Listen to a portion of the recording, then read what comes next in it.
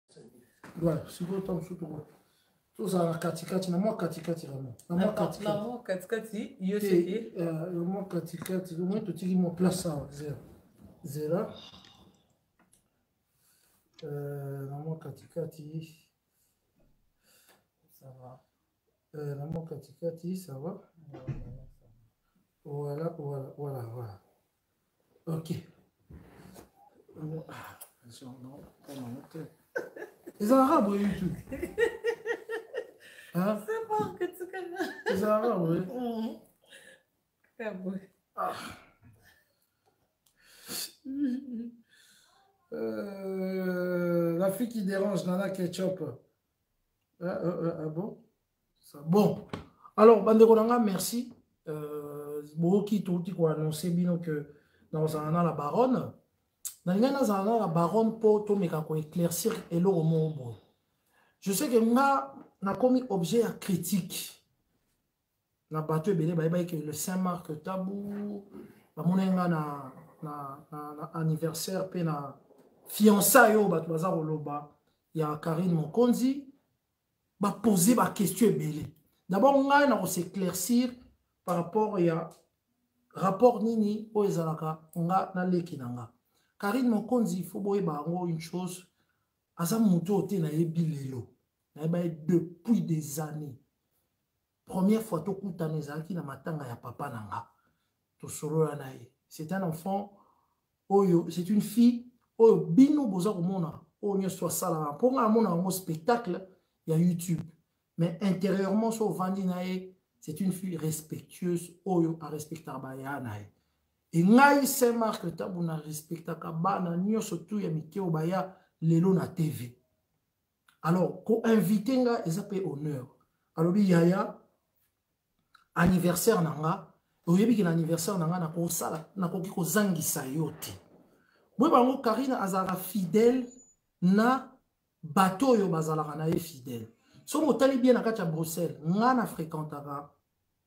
anse luzolo mike la duchesse neo tam tam wana ekiri na nga karine mokonzi ntango aye na belgique curieusement sans ke nga nayeba azofréquente kaka ekiri na nga ça veut dire neo tam tam ya tam tam voyage ans luzolo mike la duchesse mike la duchesse tovanda ndako moko nakoyebisa bino mike la duchesse tovanda ndako moko ngai ntango nazwi baproblème na libala mike la duchesse moto ayambaki ngai Voilà. Alors, relation ya ngana yezaka parce que tozali na écurie moko bato to s'entraidaka to benganaka et tout et tout. Donc anniversaire na ye ngai je m'en fous azala Karino o bolobaka azala o bolobaka ngai etala nga te. Soko honneur wana na yaka pona nini. Karine Mokonzi Bonsoir. Bonsoir Sam Marketable. En tout cas, son aye awa, ils ont un éclaircissement ou oh, peut-être dans le lelo. Oui, ngai na na ya raté ko ko caresser dans le sens du poil. Hein. Mm. Na lingana yeba parce qu'il faut le dire que aujourd'hui phénomène Karine Mokonzi ekomi incroyable ngai akanisaka osilaka omoni ntango otutanaka na na kofi olomide mm. bato balobaka ke kofi akobendo eloko moko na bana prince tukuzu na canada azalaki na biso ayebi yango balobaka voilà tokanisaka ke kofi aye kobenda mwa eloko moko boye mais curieusement ce n'est pas le cas lelo phénomène karine mokonzi eza koconstitue kosuscite makambo moko incroyable karine ozolobisa bamama bana baleki oza na bafanatike ya bauniversitaire oza na bafanatike ya baintellectuel ya niveau badiplome bato bazonga ntongo midi pokwa leki na nga biso tout tosala succès lelo fungwama nayebi ke ndeko na biso ma sœur que j'aime bien ivette nayokaki mwa moke bino bozalaka na bango na baéquipe nationale euh, ivette kalombo que je salue et je fais des bisous là où elle est akomi deya kobimisa basecret carine est ce que osimba quelque chose pour que olobisaka mokili boye bato mosusu ntango mosusu aza chinois ayebaka ata sakoma chinois mais tozo comprendre batonton chinois babimi baneve chinois tomoni neve chinois auti oya kala mingi te awa batonton chinois bazali comment est ce que yo okolobisa mokili boye qu'est ce qui va pas osimba nini kowangana te mama qu'est-ce qui se passe esalema nanu te na bajournaliste tomona mwana moko ya chroniqueur et tout to ya chroni ndenge balobaka bozalaka bachronifuati ozwa vie ya poto mobimba epuis na partout qu'est-ce qui ne va pas hmm? en fait, osimba nini loba na ngai vérité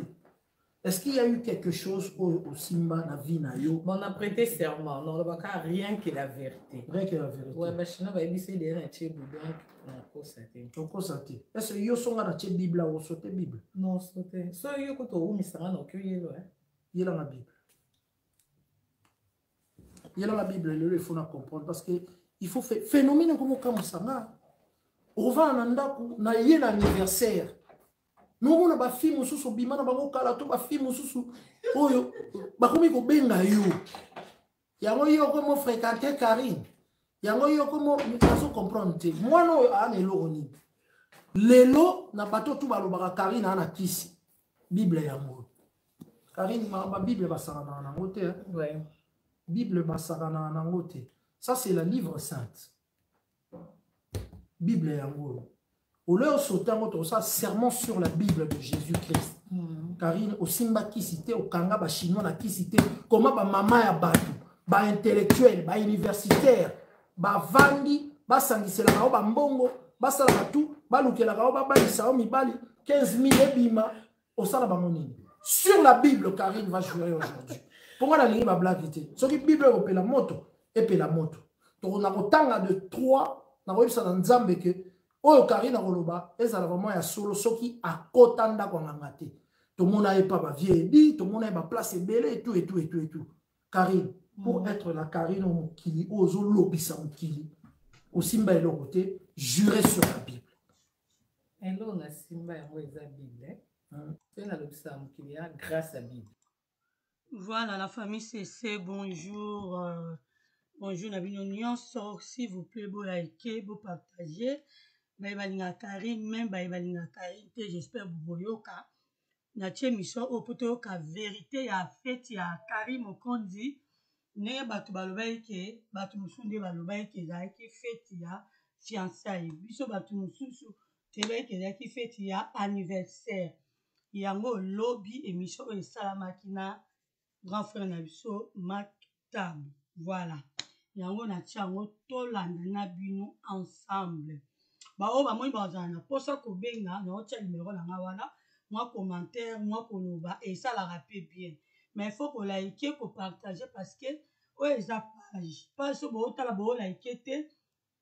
bozo partage te emission ebegaka emission omona pe soki etikali na, na page emataka lisusu likolo te mwana page akokanisaki te eloko moko eza yango na ntina te akomatisa yango te talaka tosala bamontage mpo image ebima kitoko tozwaka ta emo folamba emo fosala boye tosala yango mama sesi atielaka bino eloko ya propre mais il faut kolakite Il faut ko partager mais eko tokosala analyse après koloba ya Carine mokonzi numero wundu wunde babi ye nzambe ya YouTube po na minute oyo nakosi bino te bokota na ba YouTube mutu baolobela kaka eza Carine mutu bazolobela kaka eza Carine mais toza likambo ya Grace Tembo mobali na ye asalaki video mobali naye alobi grace tembo afingaki soki sex ya maman naye mais ezo loba te toza na ba news ebele oyo batu bakoki koloba ndenge voiture ya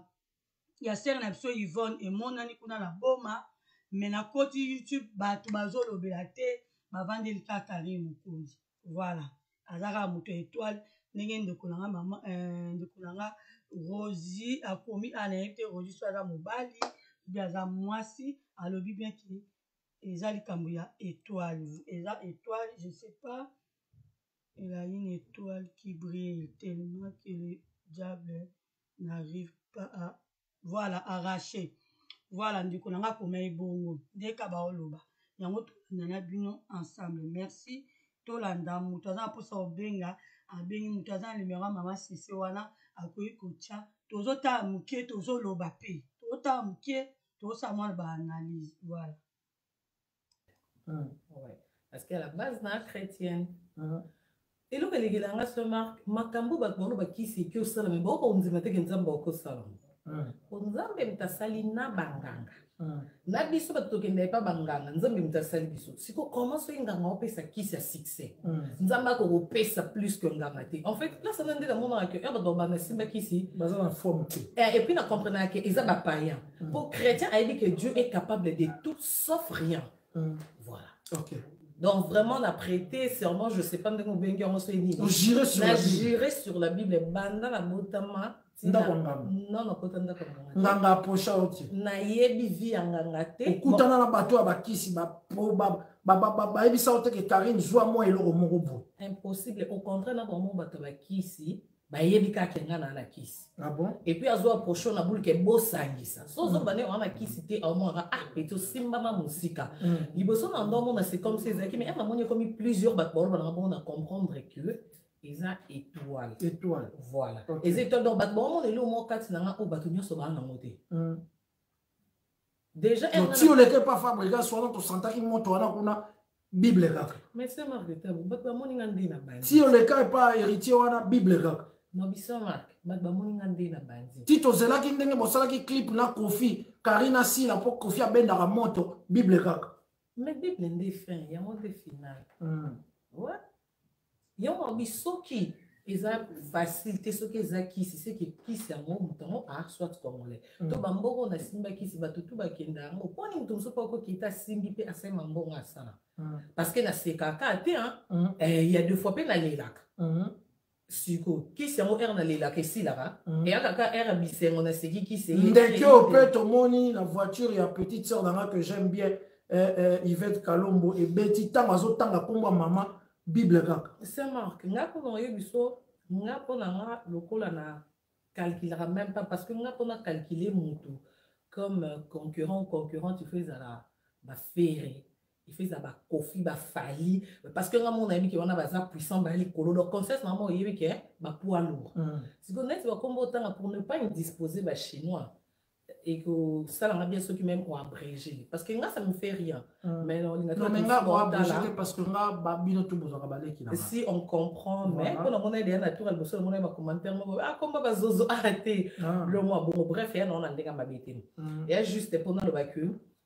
Saint Marc kisi moto moto asalaka yango ngango azopesa kisi ye moko asukolaka na kikoso meme pas na salle de bain voilà. ye moko bana ne baobala te mm. ye moko asomba lopangu te voilà. aza meme pas mm. ta mosusu amata avion te na vini mai boyoka kaka apesa ye mm. moto kisi moto wana abetaki asali plein moto wana amataki na ringa abundi asali boye asali boye mm. donc mpo na obaki ezalaka ya mambalokuta mm. mpo na nga kisi ezalaka kondima moto okay. mpo na nga parce que ere bapesi yo eloko babi kende otya eloko na mai soki kaka mwasi no ameli yako molingo mingi yo telema oza na kondima otya yango na mai na assurance nyonso oyebi ke après komelame mm. olinganga mingi oyo ekosala wana ezaka foi nao diable aya na eloko moko to apesaka donc foi oyo oza nao na eloko bapi oke fo na bomba ngo makasi motamona te mm. yango moto ekosala omoni mpe ke yango esali or ke apart yango eloko ya te tomona suka bato ya kisi te Hum. Est-ce que dans Simba qui s'il on a c'est capolo binale, la pona bible bi vomi la fin d'une chose qui son commencement. Mais magamozo loba, mutu a pesa kisi ya obaluke la hote. Papa, mutu a pesa la kisi na kati sa océan ça fait 3 ans. Si les lois baluka te to pesa dans 5 ans to batisa 2 ans peut-être patience ici là. Hum. Ah, voilà. Hum. Et là on y a ce saint Marc Isaka Nasuka. Au bible mtelobi, la fin qui son commencement. Donc place na outi ba difficulté nyonso nakutani nango babonheur nyonso nakutani nango bato baza wana baomona donc mpo na koloba question ezalaki na sekaka kaka nde koloba kisi mpo mm. diable aka bongo apesi yo après na suka koma ozwa mai ngai nabandi kaka na oseka te mm. nabandi na galere base nini nasali te mpo ngai nayeba mm. ah, nasali na banimportekodinda na tombe ya bato ya ah, oyebi siko combien de jeune oyebi combien de délivrance naleka mai nadinda bongo na 10 minute apamba mais elianga ba jeune de prière elianga ba délivrance ba matanga na ba chambre et autres 17e rien na bomba bayebi nga très bien ah bon pour lindanga na oui parce que eza place ya bibebe non eza ka on dirait ya soki ya maman ya nani te maman emene ya je crois maman maman ya kin vie kin kester que son âme repose en paix ah odinanga na tombo wana ouais donc mpona koloba ke eza esprit ya nzambe te wana eza esprit ya badémon tu étais animé de quoi c'était pas un esprit démoniaque nonnn eya lokola eya lokola motu to mosusu mpona apesa bato eloko oyo en fait ngai alinga kosala eloko oyo bato nyonso bana difficulté osala wana ya spécialité na nga mhm. omonake mamosu elekaka na internet omoni mpe nakangi motema Pe na suka osali nga betise me nalimbisi yo na tio na page c'est la famille mm. eya facile te mm. bato ebele baobenga oyuma me nga soki nasala yango yango nayebisa bato naka na defase naosala yango na miso ya bato na bimi yuma mm. me nga mona kati na nga ere naotikala nga mona oprie naoloba nzambe soki mpenza natye mpe bagrade na ngai etanke mami de la chine naka na tro nakosala yango te mpo esopanga mais soki nasali yango parce que na bible elobi tosambela bato baosala biso mabe okay, ça va. moto asali yo mabe kozongisa te merci voilà bandeko na nga leki na ngai auti kosoma na natala nanso bible yango eza ta mosusu bible ya bamakambo na bango natala so ezali vraimen bible ya solo mpo ekozala na etikete ya noir me makambo oyo ya na kati eza babible oyo bapesaka natala nano soki ezekiel namoni mpe ezekiel mpe bien awa namoni psaume banini eza bible vraiment aya na solo mais karine totala na dessin anime oyo ya astérix ezalaka na garçon moko azalaka makasi babanda kobenge obélix ye azalaka na ntina bapesa ekisi wana bato bamelaka te mpo abotamaka nde adindaka na kati ya, ya nzungu ya, ya, ya, ya potion magique soki ngai nangi natuna question boye est ce que makambo yo osalaka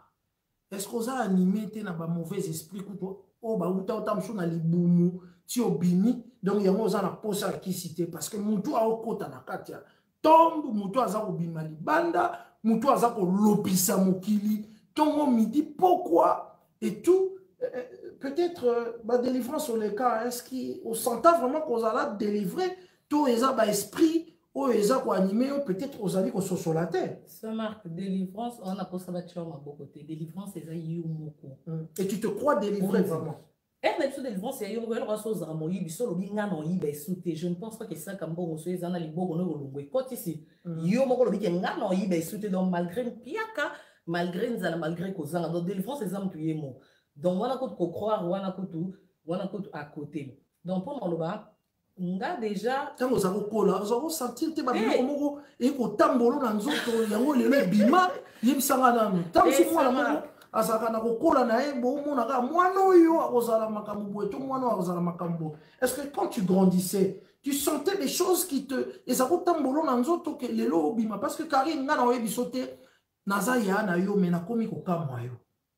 nakomi kokamwa yo bamama mibimba bamama bauniversitaire elekelaka ngai nauti awa eza napesi ndeko na nga fifi uh, uh, uh, paradis mama paradis mbote nafandaka bo mwasi moko ya infirmiere ya monene marke namonaki okendaki epa karine mpo ani omemaki ngai te nalingaka karine mingi biloko wana ezokamwisa nga biso baya na bino tosala mpe mwa succès ya moke oyo tosala mais jamais tozwa bafanatike na niveau que osentir que bafanatike ils sont prêt prêt prêt à, à tout à tout pour toi ah, voilà la c'est pas normal c'est pas normal, normal. c'est normal nde nayebi biso na ebandisi na marke ngai asalaka mambo oyo motu nyonso akosala yango facilement te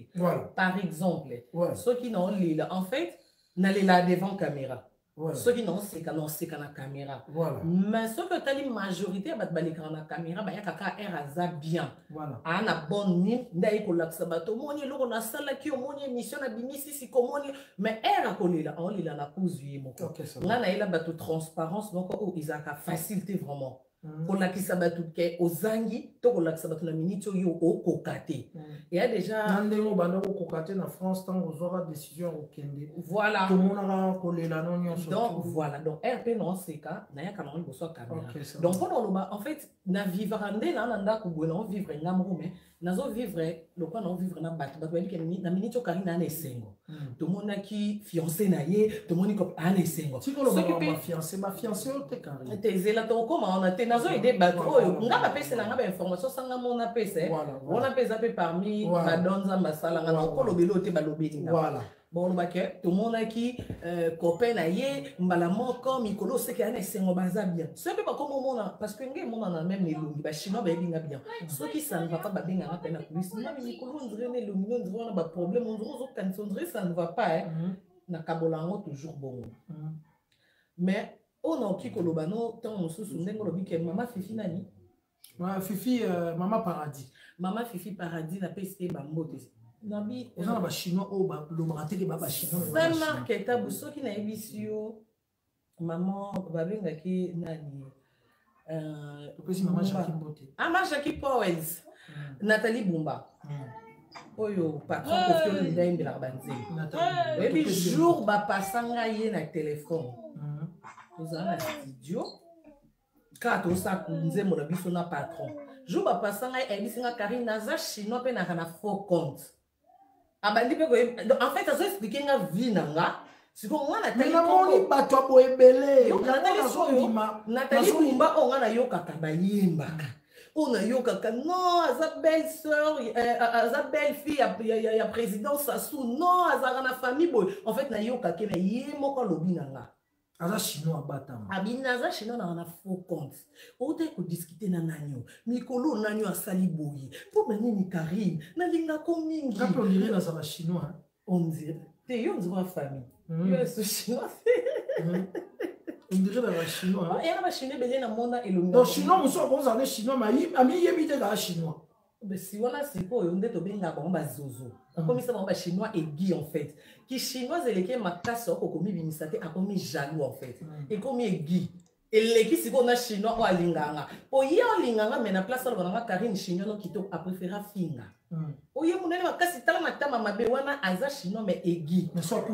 eh, wana baza ba ex zozo baaki zozo me sikoyo tocomprendre baa bachinois babandeko na biso baaka baigui mm. yango na babato nyonso meme oyo bafinganga baoyo baka binemi na nga nga eloko na comprena baza bato bazalaka wana mpo na koyede nga nakoma place naza mm. parce que soki mpe baofinga te soki baokritike te olemba eh, kombe esengaka ere oyebi ke te nabongisa manzaka mpo nana bato moko baotala baoseka minzaka oyo ebukani mm. donc naozwa courage mpo naa na posa te mpo yoka koseka nga te donc bayedanga vraiment ça va en tout cas tokolinga mbala moko tokɔta na dossier ya lelo bolimbisa nga naza marke nasala oyo nyonso to nasala me mwana oyo euh, soki naye naye kozwa ye te mpo en tant que carine naye kozwa ye en tant que mo moko boye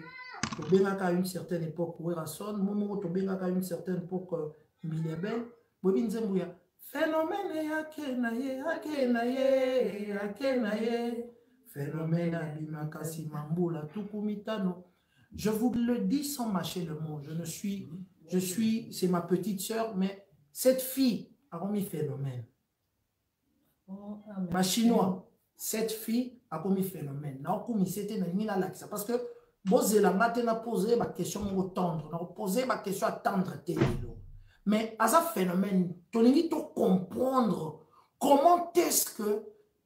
mokolo mosusu nakolinga nayamba yo na bachinois baexplike nga ndenge nini basantaka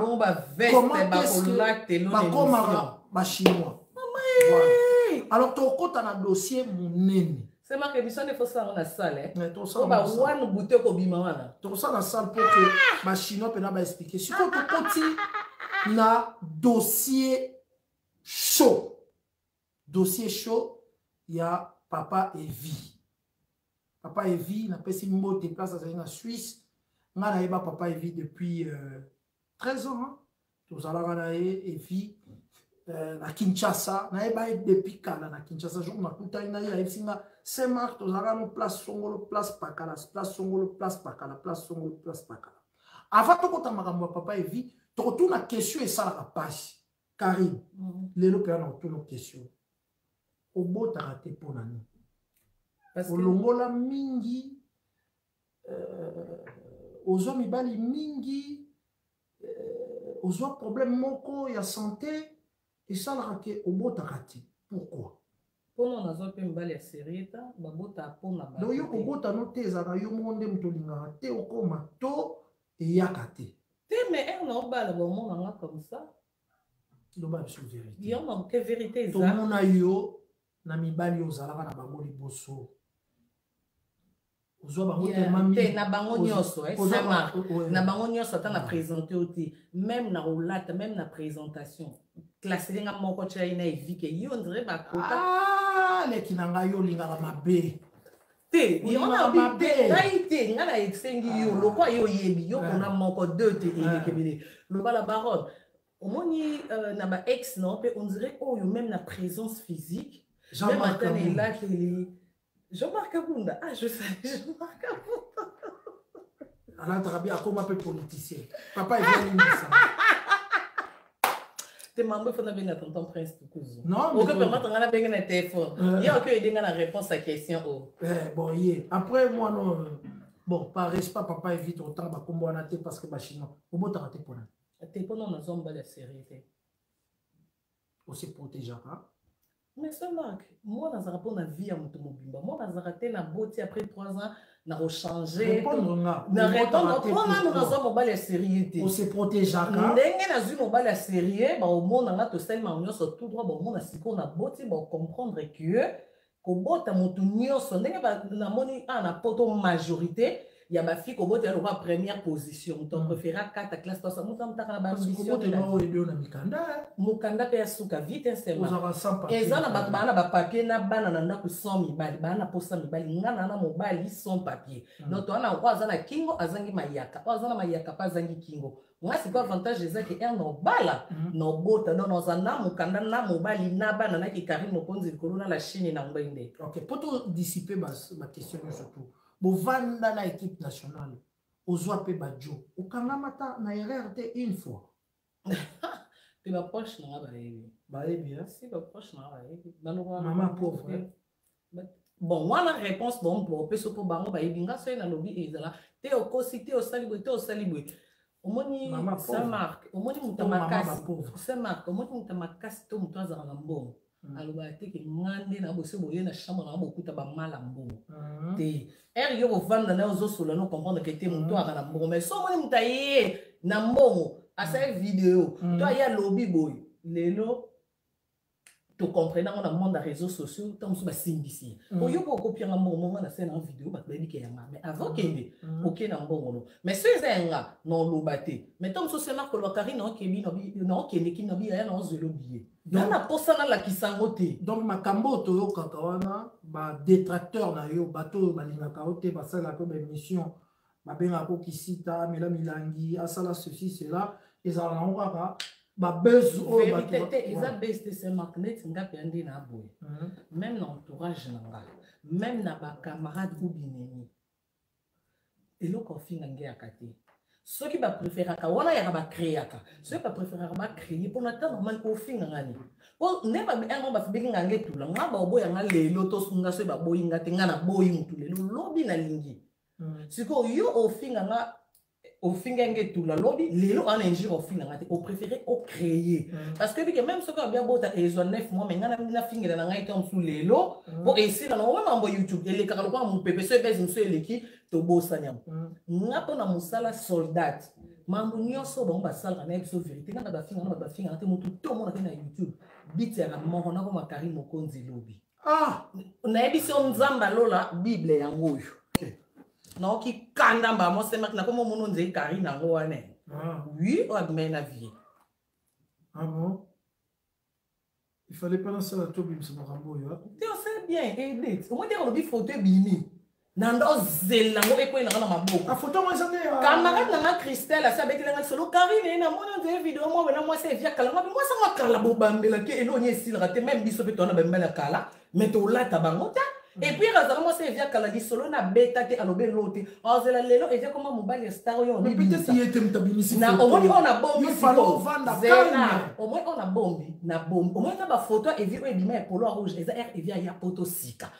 moto azala na bafoto wana ka ye mm. nayebi ke eazua me ngaki bombanda mpe na nga kutu na osenge mpo na respect na ye nayokanga nao parce que ozwi bandeko na nga bachinois bozali na bato tu boza kotala karine c'est vrai ke lisolo ezalaki C'est vrai que c'est Sila pe. Et Sila. C'est vrai qu'il fallait pas okanda yango awa. Pourquoi pas ozoyeba video ebima bakosaba analyse oyebi combien de fois ah, oh, plusieurs fois même plusieurs fois evi escro ta neti sikoyo naotoka atika mwasi na turquie moto azala na turquie ezali leki ya evi ben kikuli donc ma belle sœur que je sali akadeta baevi mais balobi déjà question na ngai sikoyo euh, avant napesa nanu euh, munganga munganga munganga komboli nani eh, ake deja nani ake munganga euh, obi awa ah, ah, bon ça va napesa mbote na na mimi bonebe eh, le volume est bon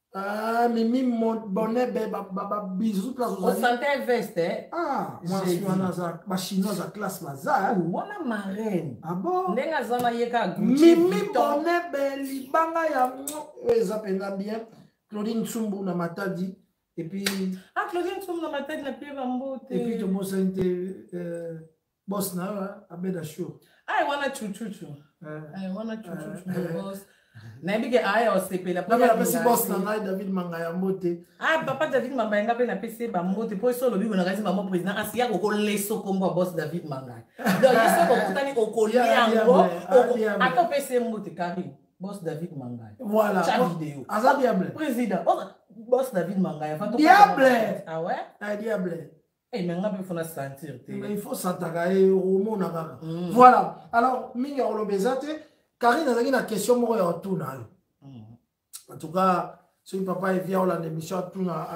alimbisa nga parce que mwana oyo ye akanisi alobaka vérité mais nga saint marc so na ye nalingaki vraiment nalakisa bino que naza ya na ye mais nayaka kosalele jamais oyo balobaka o eh, eh, eh, toyoka na etubani mutu oyo mwasi na ye abimi libanda aza sense mwasi wana aza sense ke na ndako atondaka te to batondisaka ye te eske eza oyo oh, yo ozomona eya lokuta moto so aza ndumba aza ndumba omonaka bandumba obien moto osaki ndumba otuni ya yo olukani obina oluka mbongo momoni mpe ya ministre azwi atye na ndako asombeli lupango s'il te plaît volume atye na ndako obandi oke poto ozozonga moomona mwasi ya bongo telemaka andumba na kindumba nde oluka mbongo bitne mazwi na mbongo mais au trompe ka mobali mpo eza ye en fait eza te kao force ye aza ne grandi ndumba basalaka kindumba mpo na kozala satisfait te mpo soki mpo na yango te soki mpo na yango basala soki 6 ans esika moko soki pendant 5 ans comme 6 ans mpo na ne peut-être oh mais c'est facile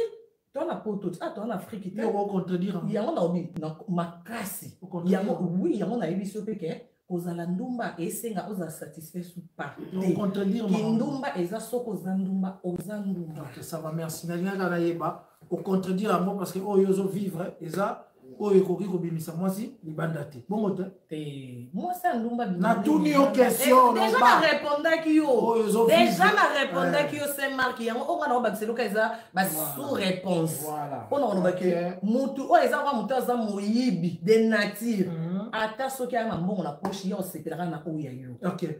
oyebi masole banda obeta makala sans polemique masole banda obeta makala mm. kala mikolo naoka yango te kofi moyibi toyoka lisolo kofi ayiba bafourchette oyebisanga kofi azanga mbongo ya fourchette mm. ebo bamise baebele pourkui ngai nazala na kini toyoka masolo wana e eh, kofi ayibaki place boye e eh, kofi asalaki bosa eya kozanga te en fait eza ke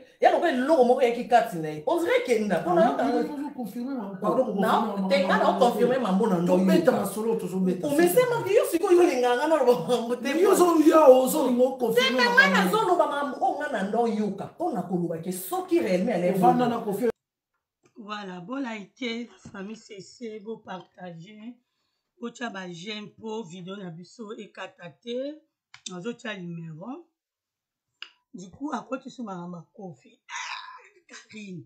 yo mpe lisusu ah, voilà ngai nayebi te bino mo bokomante bolaiki toyebi te karine soki azalaka mobulu biso baya tomona karine aza moto ya bolingo karine soki alingi alingi soki nde baboya na mobali ana azwi mosusu ça veut dire azali mobulu te moto ya mobulu oza na jean oza na maki oza na josé oza soki na de londres oza soki na igor bango wana nde tobengaka bato ya mobulu nayebi te so booloba nini soki karine aza mpenza moto ya mobulu na ndenge mpenza karine azalelaka na makambo ne mpe na kikarine na ye normalement rosa mibali ebele lokola ye mpe mal chance nde nabenga yango aza moto ya bolingo voilà namona ke azala ne mobulu te ça veut dire ndenge soki alingi kaka motu wana alingi kaka motu wana Liliane Chabani, bonjour à toi. Olive, bonjour à toi. Gina, bonjour à toi. Mariam, bonjour à toi. Acoustique, bonjour à toi, la famille. Lionel, bonjour à toi. Bon liker, bon partager. nayebi te eh, nga na otya mpe limero bolanda emission moto amoni aza na mposa obenga aloba mwa mokie esa mpe bien me nga mpo na ngai etaki mama sise namonaka karine azalaka mobulu te mpo alingaka makasi te ma aza tro moto ya bolingo so alingi alingi so ende baboyi ye bo elobi ye moso mpe ye mpe aboyi nde azwi mosusu boyebisa nga soki azala moto ya mobulu ndeni mpe na epoke na biso ya kilelo ya biso tobakokola mpo biso tokoli na baandroide te biso tokoli baforme ya bafoni tokoki kolala na bakasa vubu mpo na batelefone yaya obenga na poto epoke ya bamama sise voilà biso baepoke ya bamama sese tokoli bongo na epoke ya lelo bato ya baandroid baomema yango na bavitese ça veut dire bamosusu baokanisa ke soki oboti nde yango wana suka ya vie bia suka ya moto non no mama fobota faut ozala mpe na mobali mpo ya koasime oboti lelo bato na poto bakoma kobota avandaka na france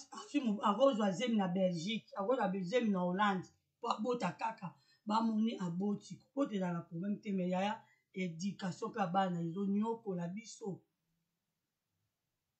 ozobeta mpe to nabota obota me mwana yango oboteli ye nde nini na mariage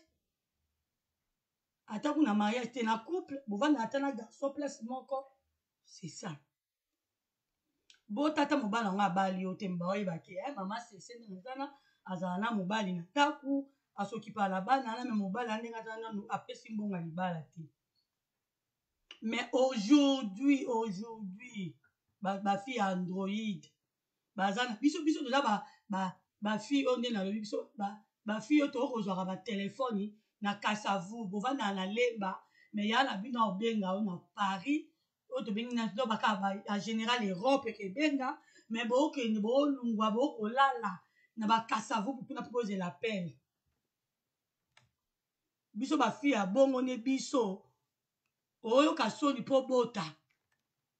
Obota sa mobali soni kutu lia misu ba sente oyo mobali andimi na ye me oyoka soni me ba fille ya lelo mwana azobota aobetela pe mwana tolo papa na ye toyebi ye te vraiment papa na ye toyebi ye te ata tata mwasi tomona ye te mais surtout bato bayebana bato ba reseau sociaux aoyoka ne soni te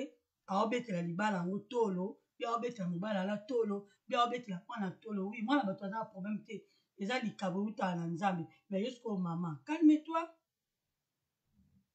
calme toi parce que toyebi ye te elobi carine ye alobi oui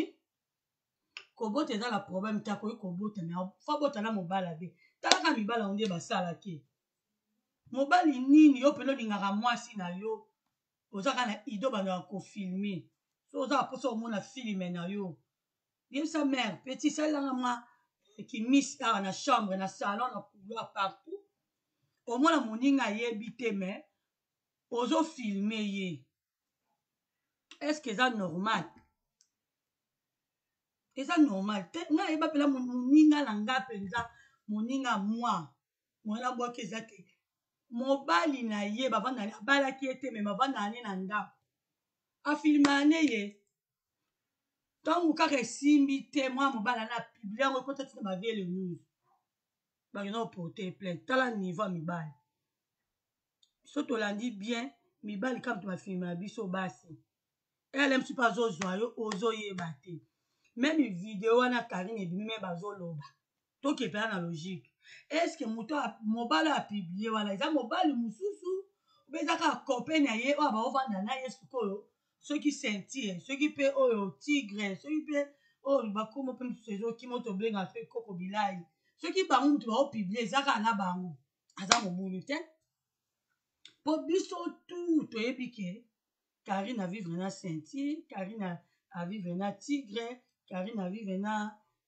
garçon no bawutaki ne moscou kuna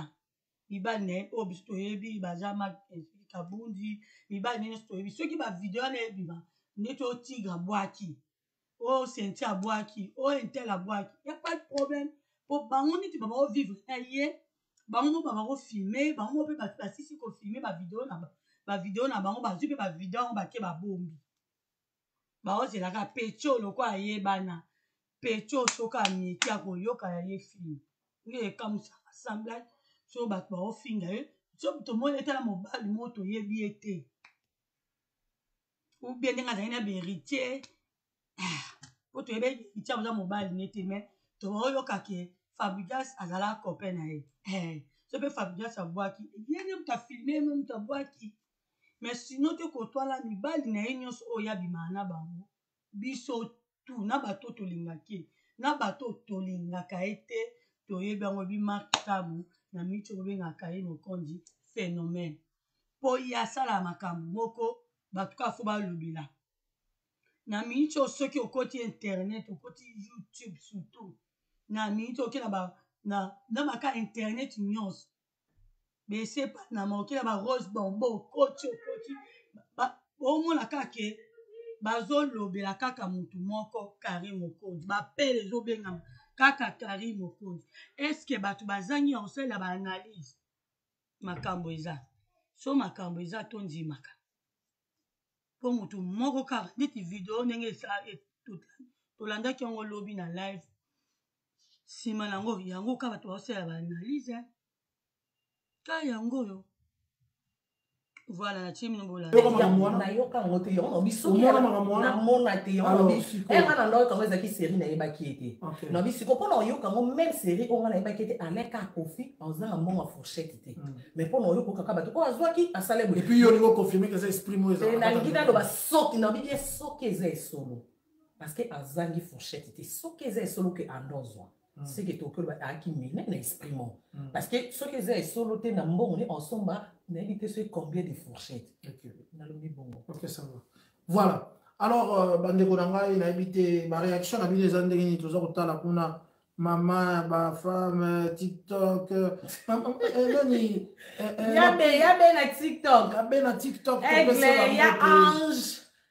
Christelle Fernandez na bosangani mabile nde biso ba leader te mabile nde bato babotaka te bino na bena cimetière ya bato babotaka te na bango babotaka eza eza te mais cimetière yokanga na répondre yo mhm. cimetière ya bato babotaka te na bango babotaka te eza te mhm. ezalaka cimetière moko mhm. mais bango babotaka te batiki bato te na mokili bakei ya bango génération esuki sikoyo baoyo babotaka ya batikaka bato na liwa na bango kuna nzambe abakiselaka bango mapamboli na liwa to soki osali lisumu okeka alifelo malgré bana otiki le problème ezali se ke bato oyo babota meme mhm. ata aza na tombe mhm. toza kokanisa ye na foto te me nakomonaka bana na ye ebe omona bana ne bokanisele ye na tombe ebakisele nini ezolamuse ezosekwise to esukaka mpo bino bomona me motu oyo aboti mwana akufi ndambo mm. makufi mobimba te sikomutu oyo yoka motu oyo aboti te ntango akufi ake mm. mobimba mm. neti ngai nazali awa mm. nazali mosuni ya tabulei makila ya tabulei tabulei akufa mais lokola bota ngai hmm. kitabulei yango oyo oyo eza mosuni momakila atabulesokokufioyoka na biso bato bakanisaka bongo sikoyo na ngai na biso verite eyaka bana bassesse d'esprit mm. neti biso bato ya bagrande esprit noki okanisa bongo te mm. vi ya moto ya mwana te mobali te mwasi te yaye mm. yanalobi vi ya motozelaka nalakisa yango nangi naye biso différence no nayoki mm. na ndimi nga mpe na peso yanga mm. mpona nalaki so ke kobota eza bien mwana bénédiction voilà. mais na bato mpe babota te mm. bavivaka ata mosusu bien koleka na bato bakovivre bien voilà mm. mais eza obligatoire mpe te hmm. moto mm. abota mm. parce que eza na bato mosusu oyo nzambe asala bongo ye mwa akeli ke yo obota te donc a ah, tovanda te mpo tolakisa bango ke te nga na nanga bongo te nga na biso nde nazwi mobali na nga boye ya malonga ya responsable boye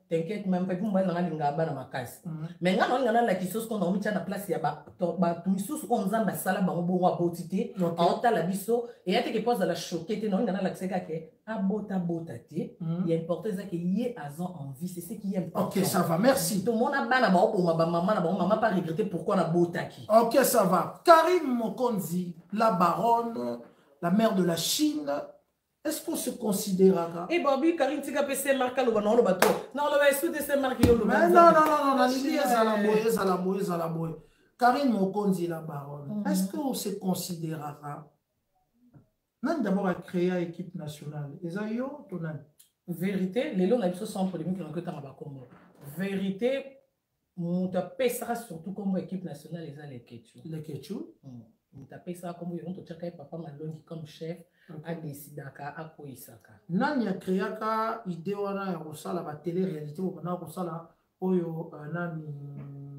Tracy Mbelenga, Nicolas Mokonzi na Kinshasa que je salue. L'idée ya télé-réalité ezalaki nga parce que nando sala mona ndako nga moko et puis comme osala question ba collègues na nga boye ba komo ko tezui en plein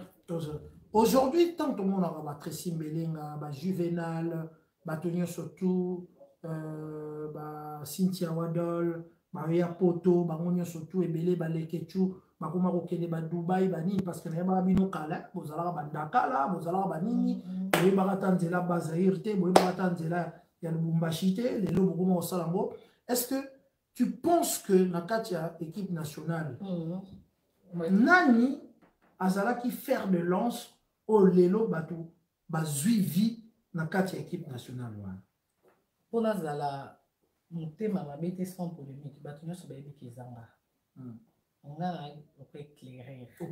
opesaki oza lokola moto opesa vie opesa makambo to opesa nini oh, équipe nationale wana tu crois que so équipe nationale ezalaka te ebele kuta mosusu balinga bazwa bachance ebele ku nde balinga bayebana nde te mpe bazwa bachance oyo nde bakomi awa te Oui, kokoma na poto, oui, eza chance, mais bato mosusu mpe baye poto mpo na équipe nationale te. Mosusu aye poto na oyo baba effort perso, mm. malgré akende équipe nationale, mais asali effort. Mosusu aye poto mpo na libala, mosusu aye mpo mobali abengisi ye, mosusu aye omoni. Mais équipe nationale eyaki eza nde na koloba ya lokwa mm, éclaireur, en fait na equipe nationale toyaki lokola toa na ngomba donc bato tu baa na se baomona biso facilement baocomprendre ke akuna baa 5 tuna baa 3 etala baningani batengami mm. equipe nationale ya kimoto toyaki vraiment likolo makasiozalaki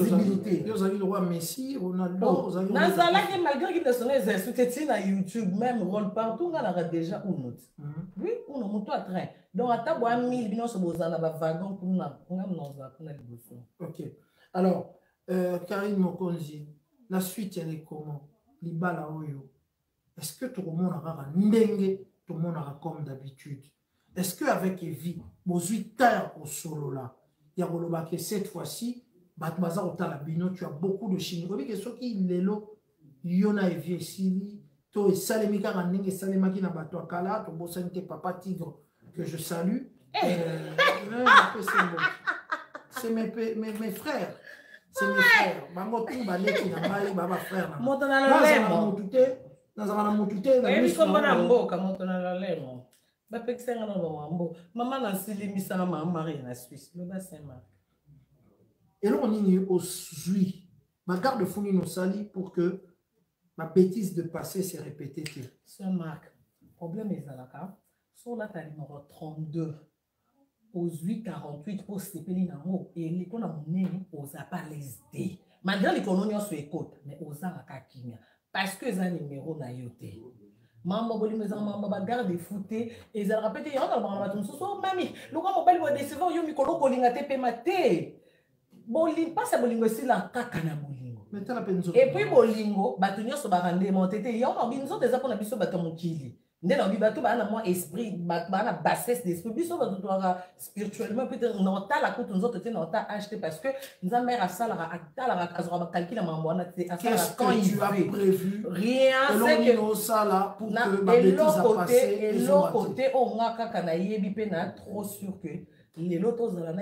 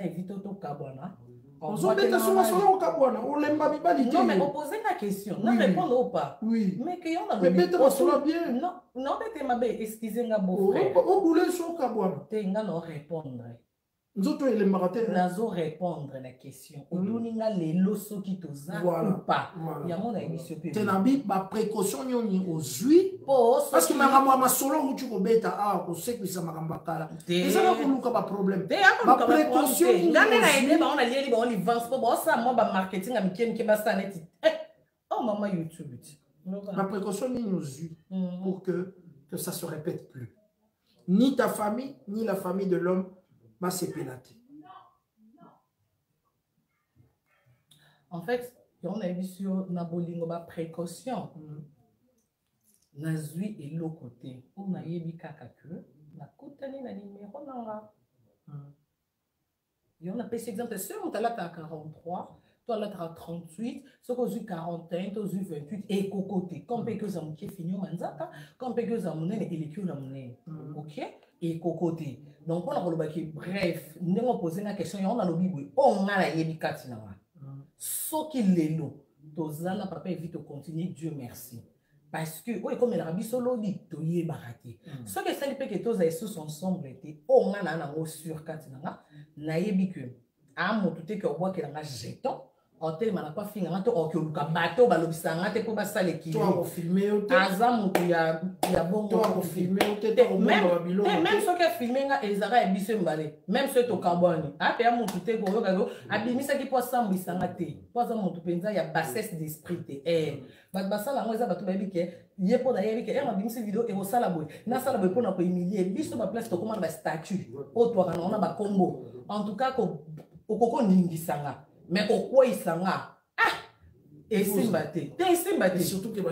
esimba te nga mpo nakobeta bango prise peya nazwi zemi na obota direct bato e eh, asambwa asambwe te biso tokoba niveau kosambwa toleka Eh, tokoma penza moi genre en fait on mm. comprendre te eza c'est difficile à expliquer mais voilà c'est comme ça ok ça va mais tozela mokolo ya bague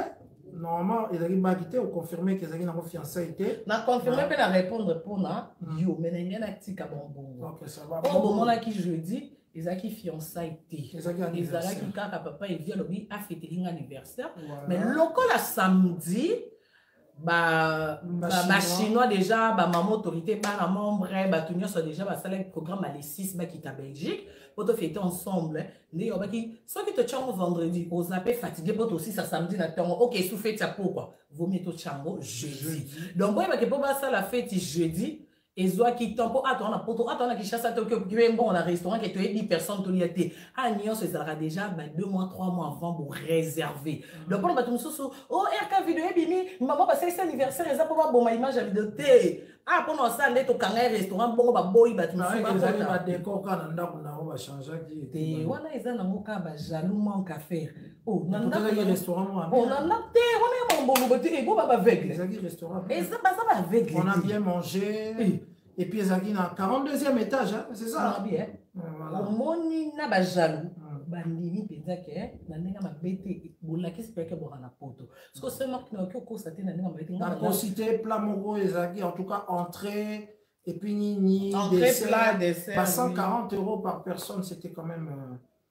c'était quand même beaucoup quoi na bisa mark bongo wana obebisaka kaka botonga ata ndako botonga ata ndako me père asalaka ti moni avantage olinga responsablemobanda na botama nga mobanda na botama mhm. baanniversaire na ye basalelanga kaka na ndako omoi ntina koliso nakosi oke o nalinga kope mo begarçon mo basalelanga anniversaire aza te soki ntango mosusu na bamisie oyo bafeitelanga eza ke totravaillaka ensemble donc na mbongo ya mosala na ngai eh, ekoti na kati na bamatolo na ngai ma mbala liboso nga mona vie na nga bafetele nga donc mpona koloba encore une fois merci na papa evi kikuli na famille kikuli mobimba en tout cas merci na mokubwa awa na belgique ya divine mokonzi na france un grand frère mosusu kuna na angola mama na kini ma belle meur et puis euh, na na bene kikuli depuis turquie donc tout le monde surtout à papa evi un grand merci merci merci merci po ya lakisanga deya babolingo na ndenge nyonso mm. onso ekomi tour ya bato mosusu bakoma omona mpo nga deja namoni trop eh, baakta bolingodeja trop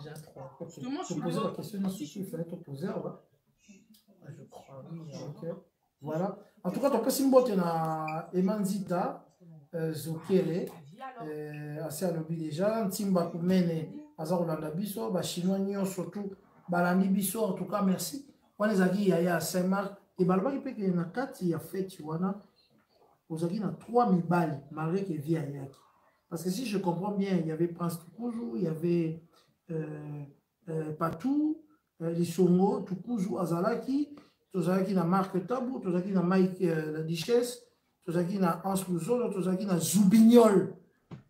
azalaki wana y avait un autre garçon mpe azalaki et tout papi waki na trois mibali wana voilà na nini na rêve na vieno ans azalaki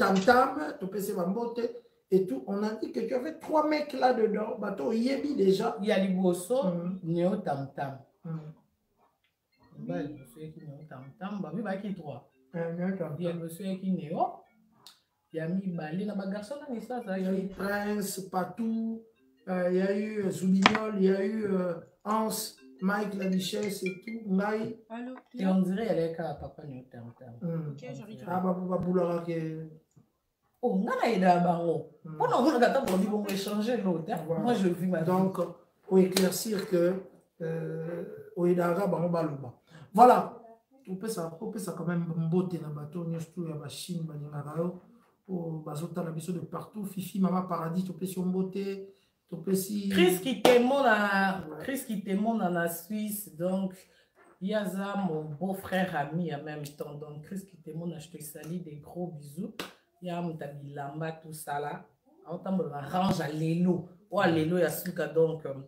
félicitation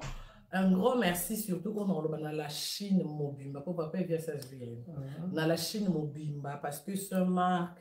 nanga moko deux fois eh, nakoma mhm. meme soki naa na problème nga mona bazolukela yango solution mpo nayebi soki bachinois bayoki mm. ya na bato babelaka batension na la chine mm. ya na bamama bazemi elongwaka bango nazwaka bapela bapapa azotuna mama osala mwasi na nga nini omoni papa obengo mama osala mwasi na nga nini mm. mpo aliso oyoki likambo nonga na biso na ndako tokolia biloko eleka mungwa soki eleki mungwa te eziki mpo azolanda balobi kari mokonzi boye bazongisi boye donc mpo na koloba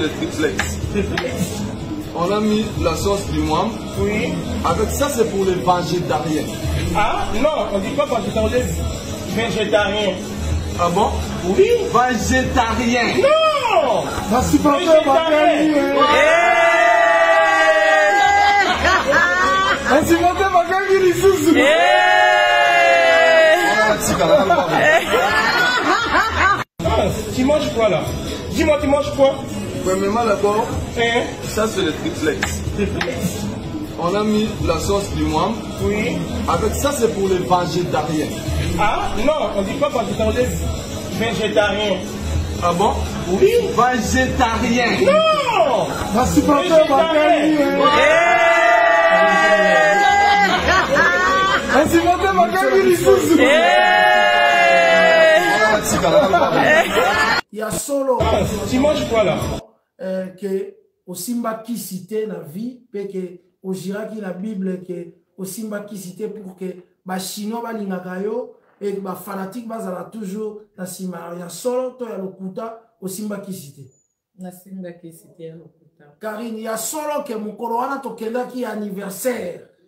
ezalaki ya anniversaire ma ezalaki nango fiancai te ndenge yo moko olobi bazozo mutu bakomisaki anniversaire yango fiancai sanke yo oloba lokola yo oza mama youtube yango bango babalolaki ezalaki nango fiançai te ezalaki nango anniversaire bazela libala mokolo mosusu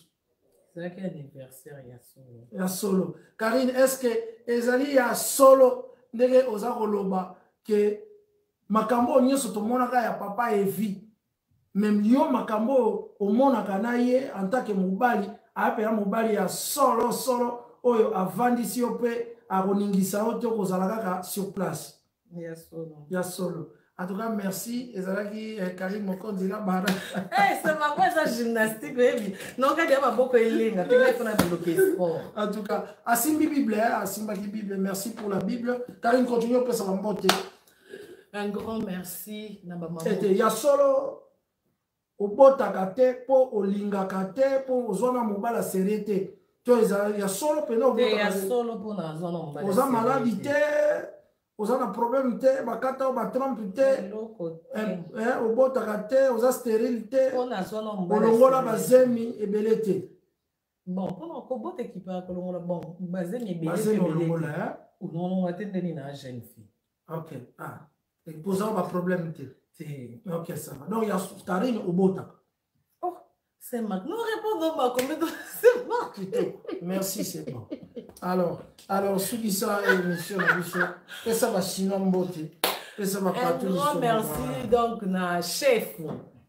papa efemi kisekedi en tout cas merci mpo namonaki niveau slim apembani ebimaki nga mona vandi na bi o oh, slim tokola eh babe femi bino bolingaka slim franchement na baye basket azano te ebimisaka lolemo boye un grand merci mpo na déplacement donc olongwa déjà france bovandaka na france botiki bafamille basi bana mibali boye ke bofuti hotel mpona kosepela na nga jour anniversaire na nga epuis na bambongo na bino bopesi nga bakado bosombi aboire bolambisi en tout cas merci papa efemi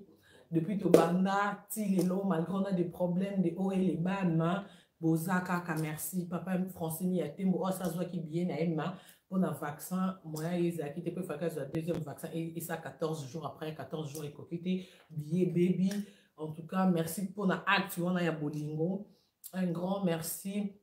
na bamama nyonso ya bana membre nyonso surtout ke na mama maria oyo azalaki ofure omola merci beaucoup mama maria un grand merci na bamama angelos oyo mpe babengaki nabosani mpe te esu na chefi mama pauline chakola quisete ye ayaki ye moko te aye na père papa de cris konde abwakaki veste ya dior un grand merci papa de cris mpona bolingo wana olandaka ti na france akati okomoya ti belgique donc elakisa vraiment place nini otyaka nga un grand merci na bamama autorité bamama autorité nyonso merci na maman kabibi mwamba namonaki one bouton ya veste un grand merci na mama nana mokonzi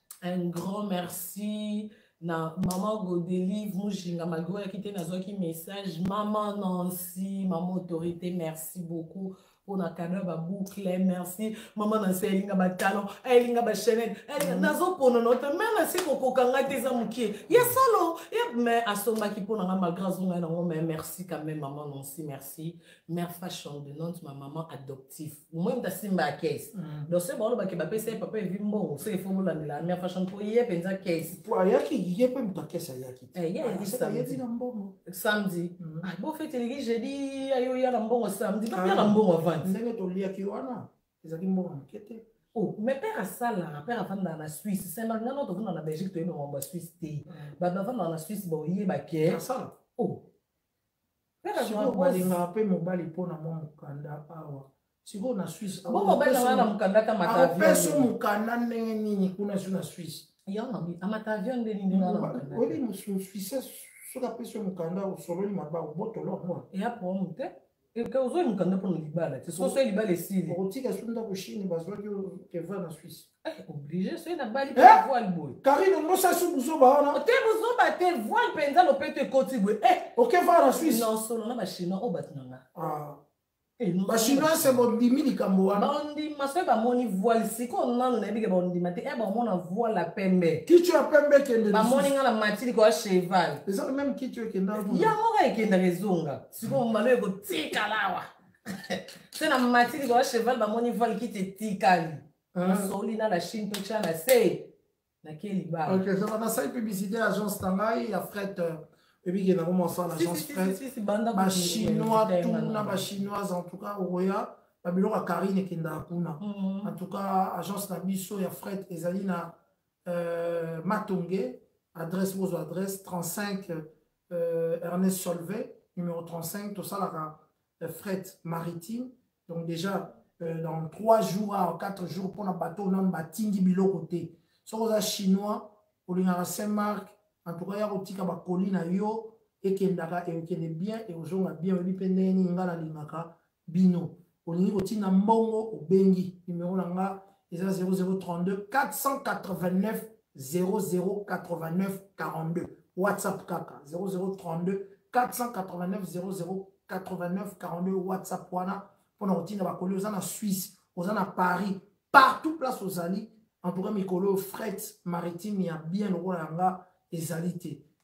tozotinda bakarton na 85 euro na 55 euro tobomi mpenza mombongo na ndenge ya kosakana te alors bachinois soko bolingi boya epuis na bato nyonso to balingaka karine mokonzi merci en tout cas mokonzi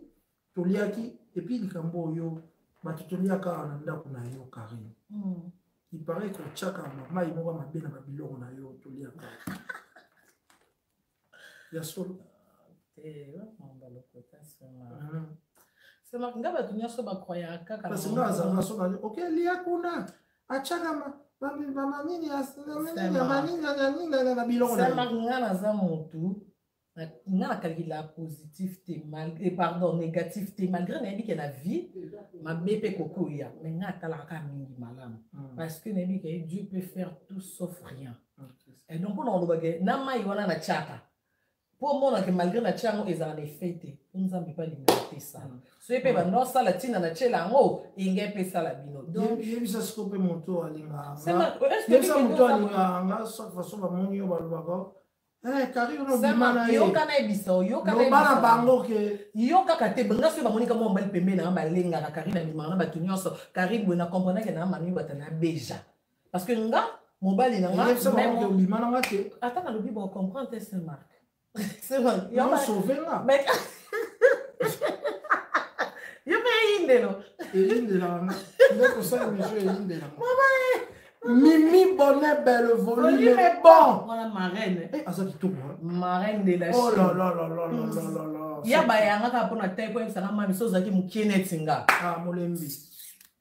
Molembi. Ah, Mimi Bonnet, le volume est bon. Il faut bah, rappeler la marraine de la Chine. La marraine de la Chine qui est très très belle. Na mona nga ba bota basi, na minute okuta zo kabisote parce que ah, aza na consultation. Mimi Bonnet, na yeba ba doit respect na vie. Bon. Et puis ah. na bosani te nani Frédéric nani petite sœur na biso ayaki fernandez christelle fernandez christelle fernandez napesi yo mbote tomonaki yo na wana master star a star eh, baki na ya be mhm. ya ange ouais ok christelle fernandez maxi bondo epe je te salie merci topesi yo mbote tomonaki baya bachine meme oyo na christelle fernandez oya bozo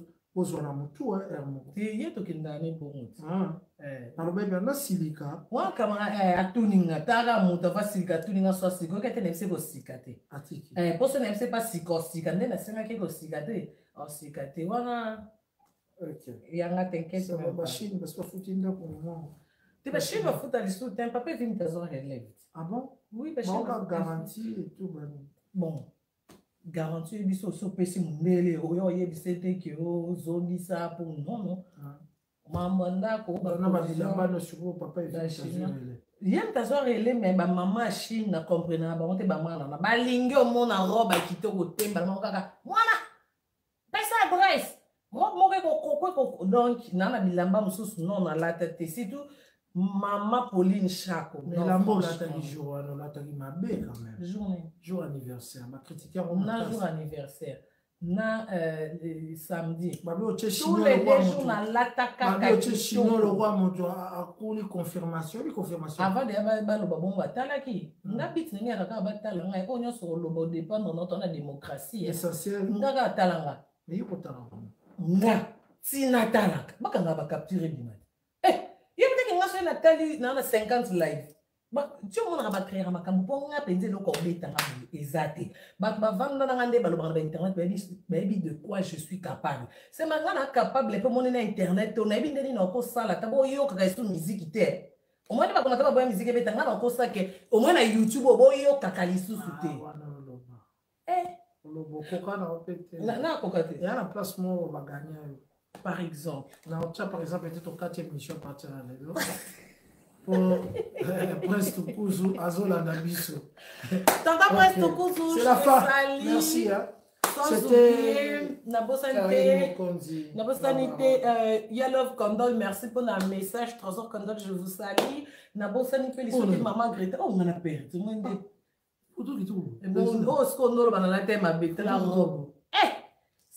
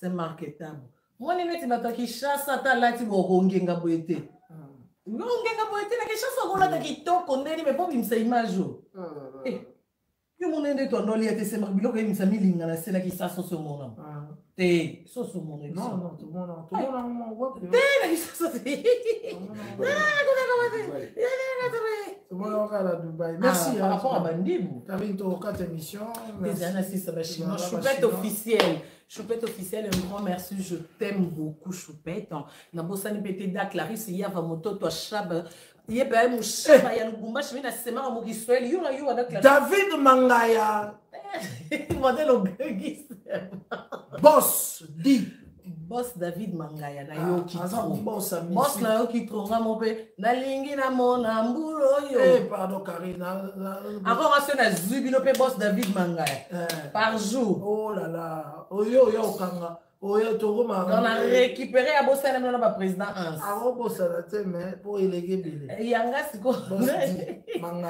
bos je te sali un grand merci maman fanny babonjour wana eh, mama mama motema malamu mama kasalu voilà babiju ebele place donc nabosani mpe lisusu te na bapage nyonso et surtout que na page la mama meilleure page un grand merci ye soki mm. nasali bêtise akotiseli nga mm. eh, neti akotiseli nga mikolo atyeli nga nse mm. mais soki suka nabungi susu donc c'est ma soeur c'est la famille page la mama merci sans oublier les news de star mm. page polémique les news des stars eh, kuna sikoyo toka na sere na biso moko kuna soki ye te mbele page ah, edaya ye kuna ata souhaite te soki ye te page edaye mpona ndenge avie déjà vie moko alekana sikoyo marie lar azwa ngbengemamukutu ya vie na osala commentaire te mpo ani obanga vie zoro vie zoro makuna kokendele suicide Marie-Laure Mwaka, en tout cas, merci beaucoup. Nga Marie-Laure, nakoma olingi mingi parce que na comprena grâce oui, bozwa mitu mpenza ya basi ya poto bozwa mitu na bango botya na internet sikoyo boke na bango na tiktok nakoma omona bamama ya ba 58 ans na tiktok te ah, na youtube no bacomprendre tiktok te nokeba bayoutubese mosusu baoloba biso tolia mbongo ya youtube kari nake na tiktok bango bakaka na baretard ere eh, bocomprendre mhm. après baosutuka eya mpe faute na bango te ngai na une fo ngai nabandaka kaka mpo baoya na bango mhm. eh, baoya tiktok donc mpona kolobaki yo nde nalobi na yo bafanatike baya ebele basoldat baza baaméricain baza bachinois baza basoldat kuna na tiktok basoldat soki omeki kuna soki oke foka okata na losako mhm. avondolomambo karino yo reva mariage ezala ndenge mariage na nga eh. so na réunion emona okaposa olela hmm. te obula yango ezala nde parce que bamariage esalemisalemi eh, te ya mariage e mariage oh. ah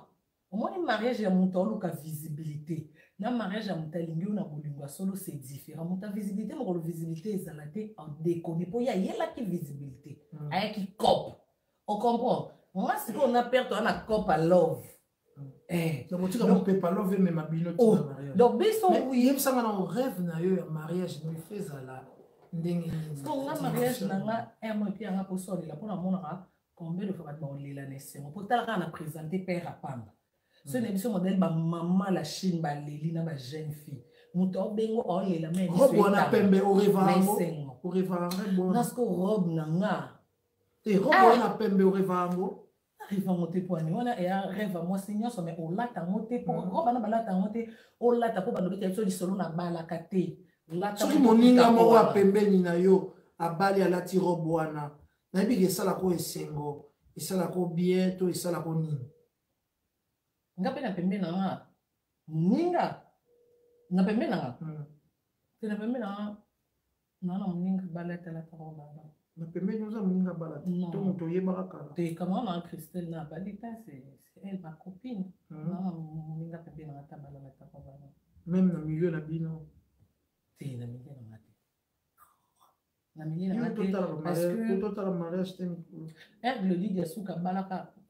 naaka nao na site na bango te mm. donc nayokaka na mariage namona te mm. nazabi te malgre naaka na kini mm. donc na milieu ça te fait plaisir aujourd'hui mariage mariage eza bénédiction même na milieu na nga te soki moto abali eza bien parce que eza bénédiction voilà donc osuetaka nini na bachroniqueuse euh, mpo na likambo etali libala osuetaka bango babala baoyo kaka na poso ya kobala na sueta bango babala me libala ya reve motu nyonso te mosusu yo kosuetele libala eyane na reve wana te moi teke suwa yango te robe na ngai eza wao robe na ngai ezala wao Waouh, et puis oyo eza lisusu makasi lisusu ke olata robe na nani mais faut mpe mobali azala na mbongo osala mpe mariage ya bien hein. eh, mon mari travaille ese travail na wana eopermete esala bamariage yango oh, bon anniversaire kutu yo somona na youtube a mobali afetele ata mwasi oyo alatisa liasi afetele anniversaire yango sikoyo nga kuta alliance te bague ya fiancé anniversaire tomona pesa exemple ya moko kaka kombo te mpo aza mpe te non mpo naboyi bachinoisaza te te a eza sans polémique ya mambo ya bachinois te eyaki olobi ke carine mambo obi okosi tala intel mamariage oyo biso totomonana kinshasa basali wana ya ki ya pesa nga kabela nga kosombela nga te tikela nga oh oyo eza père abimisi na poche omoni moto akendaka mosala na ntango abimisi na poche ah kai falit il faut comprendre e oyo ake tosala feti lolobi nyongo nde tosala feti omoi tosala feti jeudi vendredi tonto mpe asaleli nga bouquet de fleur ya kado akuta nga na ndako akuta eteke moto aye kosona eza ndeni mbongo na bozwaki bolobaki bakofuta avec interet ya ndeni te sans nyongo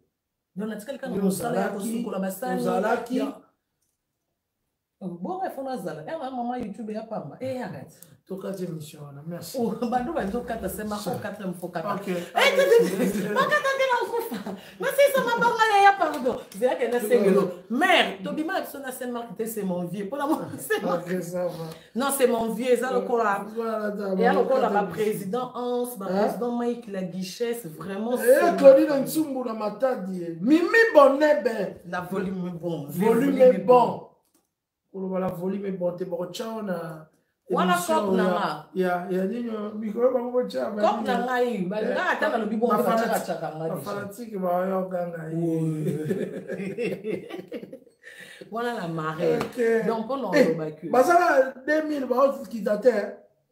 mpo na oloba ke eh. nde eza bongo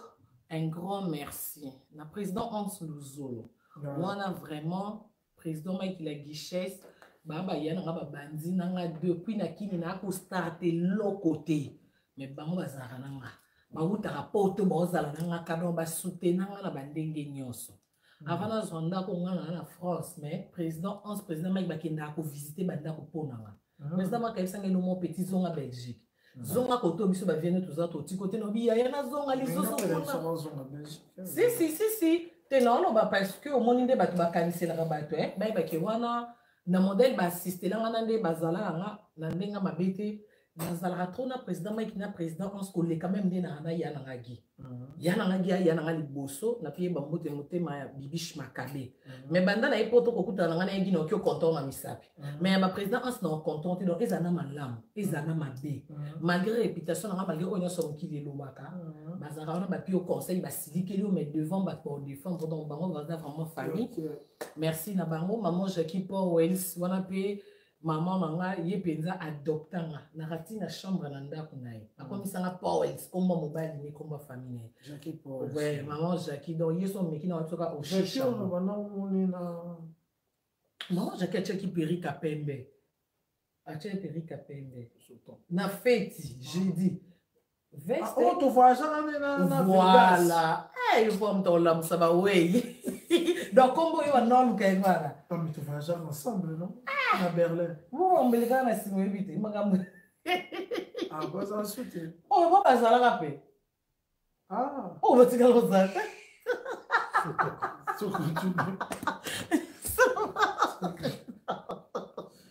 c'est pas possible nga kozanga koyeba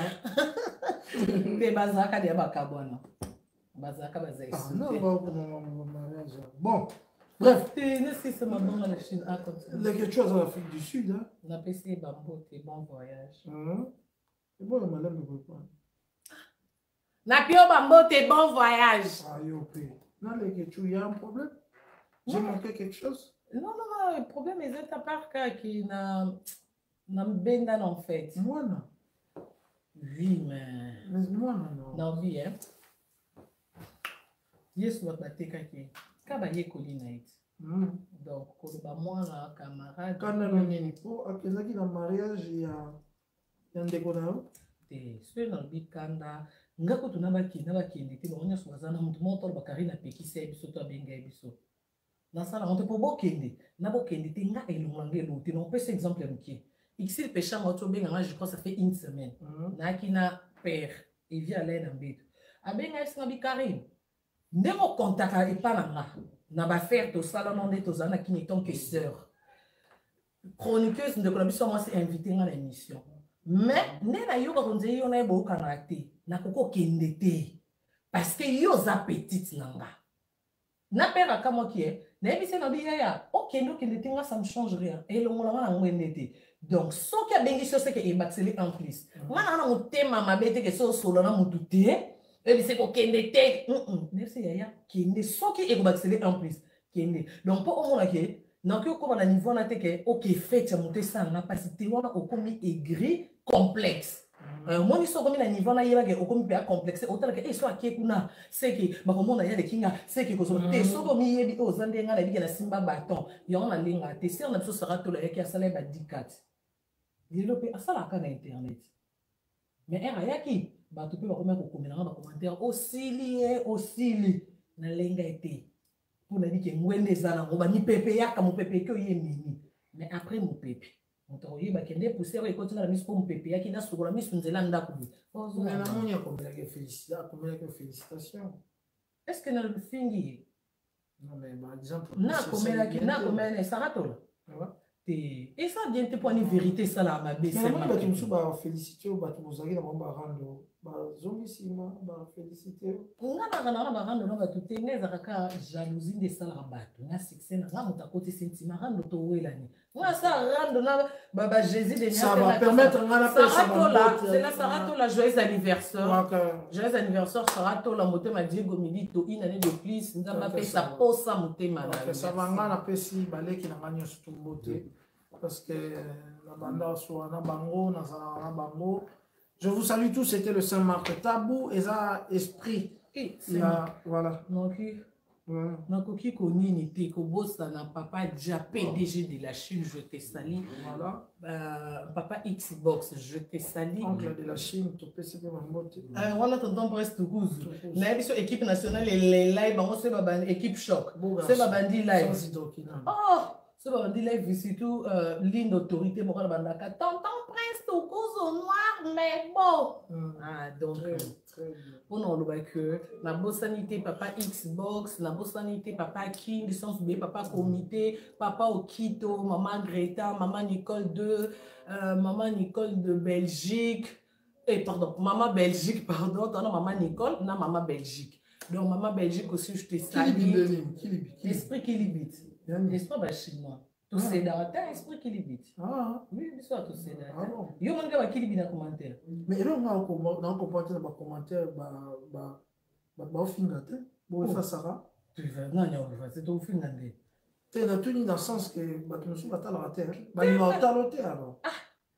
nga mpe otali nga te soki direct esili otala nga makuzu so otali nga te otala na ye ah non balinga ota na direct te mpo nkombo emona eh, ota na kuzu mpo bango nyonso nalobi omona baoya orépondre baoya batengamisi yango bazongisi yango boye ah, ok ça va donc sans oublier donc ara ah, bachinois bazali alors bachinois nakoloba likambo moko bozolanda ngai euh, ba fanatique ba chinois bagangi ale ba chinois bagangi otya bino tu baye na bacœur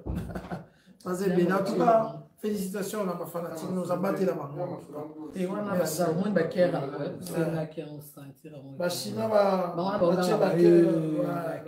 bachinois bagangi te oyo eza sikoyo oyo yokaka kere eh, bakitaka te 2000 fai bakita eh. oh, bango kuna eza bawa ata tobi toloba elo te tofandaka to bando tabe ngo mpe bazala na bango tala biso ta wana mama wa mama bovandaka be botala bisomama ye tenasisa mabangasisa mabanga nadine mokendi depuis kinshasa babonne guérison équipe choc mombania o suzuki linde autorité karine mbala mboka rovinio depuis kinshasa nafiza mwana mon cœur molingami na ngai epuis sans oublie lisusu nabosani te nabosani nani nzambe nabosani nani bakoswanisa ngai papa matondo je te sali nabosani mpe te ba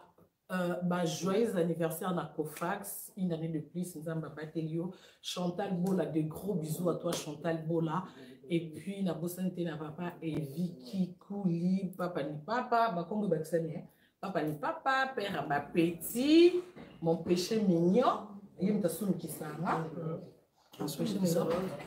yewa awa na la chine yewa awa bonsoir mama mama moto ya français mende akela ma chante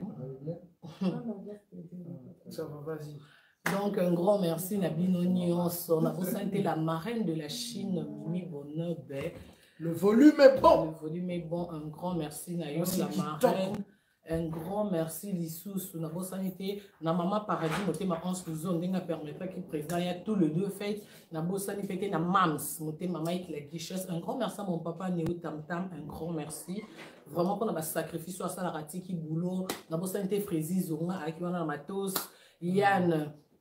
ya nanana image je te sali sans oublier talvin kinkani wana mon fils donc un grand merci na opesa yo marketable vraiment pour ça que je suis toujours là pour toi na oyebi nga moko na obaki bato tu bakoki koya sauf mpo ena bengaki ozalaki na kina nabi donc oui ba chaque fois sur la scène mission na yo c'est ma niveau na yo na nini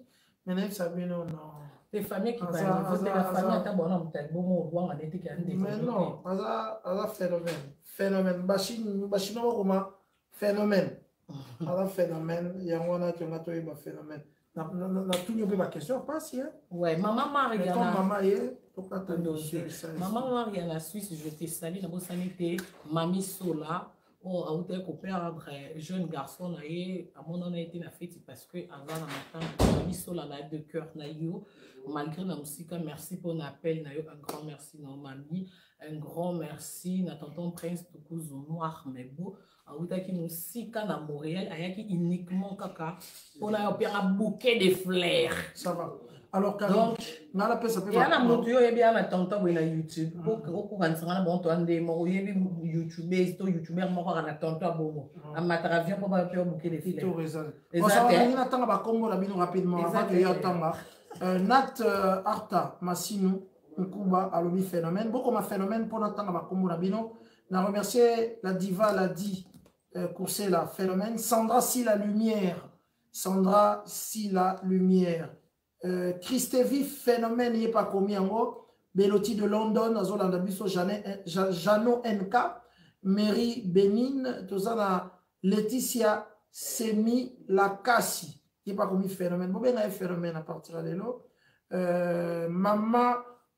Fan de TikTok de Karine, euh, Soleil oh, Levant. Voilà maman, fa, maman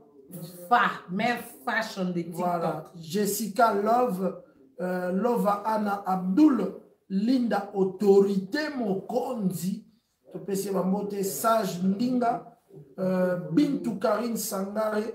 Lolo Kitoko, oh akoma phénomène apesi mbote, euh, Carla G phénomène, Bibiche, ditema ya ba Bibiche. atie ba cœur ebele otozedi ya général phénomène odette muziki marie louise ochumba phénomène yango oloba motu moko toluka to comprendre mais tozo comprendre ti mm. yango wana partir ya lelo na baptise oyo na nkombo ya phénomène mm. marie louise ochumba phénomène ntimba kumwene epuis christiane ngoma bango tuka bachine hein? mm. mama fa de tiktok de carine voilà leslie bombe euh, nathalie de jésus et puis Nadine Mukendi Juju et puis tobosani te Rosine Mpendi Soleil Levant tolingana na mokili euh, Amiso Florence Mayamba euh, Marcelina Lova Angelina Kamalando euh, Apete Mamie officielle Lala Bango Lala Bango Lala Bango tuzolana bakongolais